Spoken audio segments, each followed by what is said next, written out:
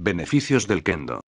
El kendo es una disciplina físico-mental que favorece al practicante tanto a nivel corporal como a nivel psicomotriz desarrollando una gran capacidad de reflejos. Sus complejos movimientos y coordinación dotan al practicante de la capacidad de poder acoplarse a actividades que requieren concentración, coordinación y rapidez física y mental.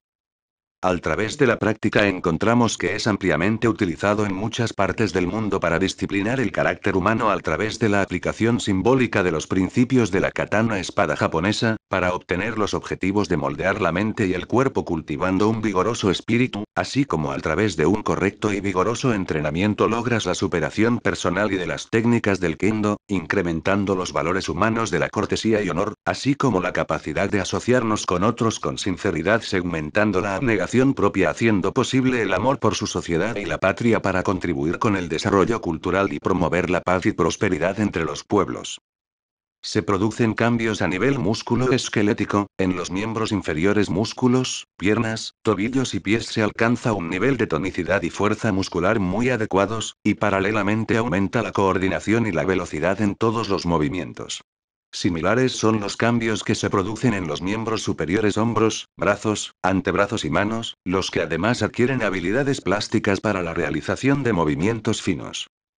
A nivel del tronco, tórax y dorso, se consigna la realización de la marcha con una correcta postura de la columna, siendo este uno de los puntos más importantes que hace del kendo una actividad ideal para mantener una postura adecuada. La coordinación que se logra durante el combate es exponente de la sincronía neuromuscular que se alcanza con la práctica regular, fundamentalmente durante la ejercitación de movimientos de pies conjuntamente con los movimientos de ataque que se ejecutan con los miembros superiores. También es notorio el desarrollo en ambas cinturas escapulares, obteniéndose gran desarrollo de todos los músculos de la zona pectorales, dorsales bíceps, etc. La concentración que se debe tener antes y durante toda la práctica, ya sea durante los ejercicios básicos o durante el combate, constituye un ejercicio mental de alto grado. Asimismo, la actividad repetitiva, cadenciosa y rítmica que se realiza durante los ejercicios básicos y las catas, desarrolla un estado de calma mental asimilable neurológicamente a estados de meditación, con los consiguientes beneficios que ello trae.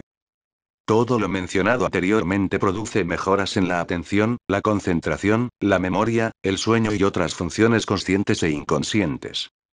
No olvidemos que en la antigüedad las actitudes contemplativas y meditativas de los guerreros previas a un combate, fundamentaron el basamiento disciplinario, mental y de conducta del kendo en la actualidad.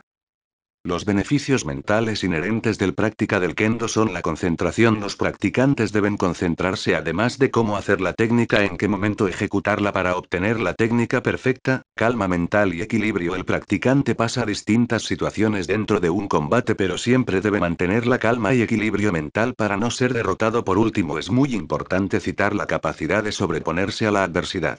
Muchas veces el practicante se encuentra ante situaciones en un combate que son muy desfavorables, el kendo enseña cómo soportarlas y superarlas.